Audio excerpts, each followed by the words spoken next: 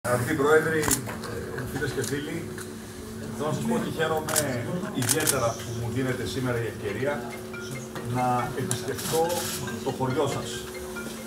Και το λέω αυτό διότι στη συνείδηση των πολιτών το όνομα Μόρια είναι ταυτισμένο με το hot spot. Όμως το hot spot πήρε το όνομά του από το χωριό και όχι, και όχι το χωριό από το hot spot.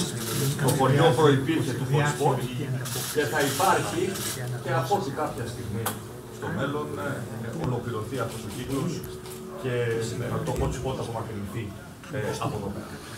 Αυτό το οποίο θέλω να τονίσω είναι ότι δυστυχώς όλους αυτούς τους ε, τελευταίους μήνες έχουμε γίνει μάρτυρες μιας πολύ μεγάλης διαχειριστικής ανεπάρκειας από την κυβέρνηση στα ζητήματα διαχείρισης του προθυμικού οδήγου.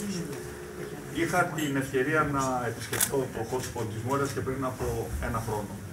Και τον Μάρτιο του περασμένου έτους, σε μια σύσκεψη που έγινε στο Προεδρικό Μέγαρο, όλοι οι πολιτικοί αρχηγοί συμφωνήσαμε σε μια κοινή στρατηγική για την αντιμετώπιση του προσφυγικού προβλήματος.